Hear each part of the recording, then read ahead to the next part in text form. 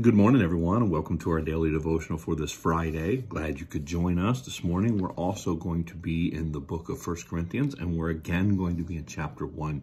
This morning, I kind of look at verses 4 through 9, and I want to look at how much Paul refers to what Christ has done here and how much Paul refers to what we have done here. So let's take a look. First Corinthians chapter 4, or chapter 1, verses 4 through 9. Scripture says, I always thank my God for you because of his grace given you in Christ Jesus. Now notice, we're going to start out here and we're going to say, do you notice that Paul never says, I thank God for what you've done with his grace, or I thank God that you received his grace.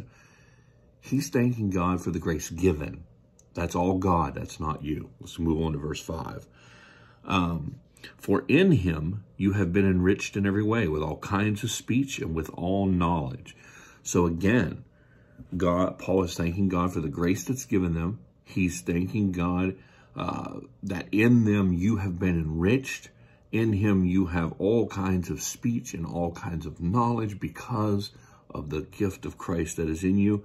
Then in verse uh, 8, he goes on and say, God thus confirming our testimony about Christ among you. Sorry, that's verse 6. God thus confirming our testimony about Christ among you. Verse 7, Therefore, you do not lack any spiritual gift as you eagerly wait for our Lord Jesus Christ to be revealed.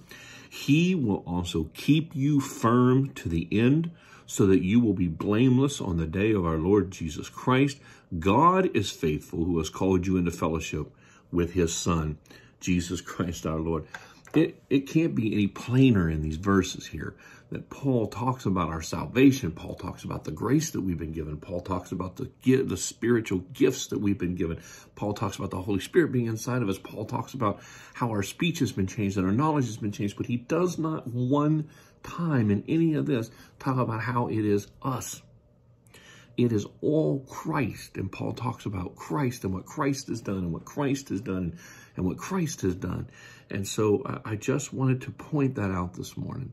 I just wanted to point out that if you think you're struggling in this Christian life, if you think you're not doing good enough, if you think you're not living up to the standard, just remember that it's Christ in you and not what you do that makes you who you are and makes you special to God.